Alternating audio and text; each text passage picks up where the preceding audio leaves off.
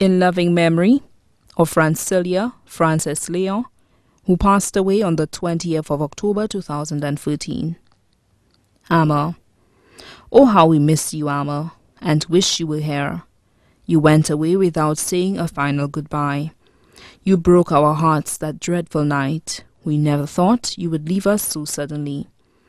It had us asking questions who, what, and why, which tore us up inside. On the 5th of October was supposed to be another birthday for you. We all remembered it because it was 15 days later that you died last year. Today, the 20th of October 2014, marks one year since your passing. The pain in our hearts is still unbearable.